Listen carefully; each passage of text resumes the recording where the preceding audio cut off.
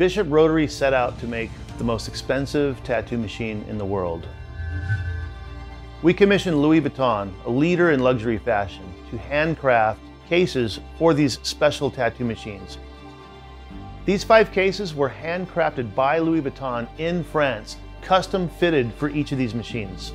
With Louis Vuitton's iconic calf leather on the exterior, the machine sits on a custom microfiber interior.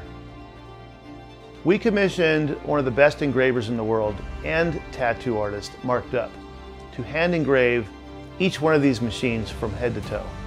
Each part of this machine is hand engraved with exquisite detail. With only five available, this makes this the most exclusive offering that Bishop's ever had.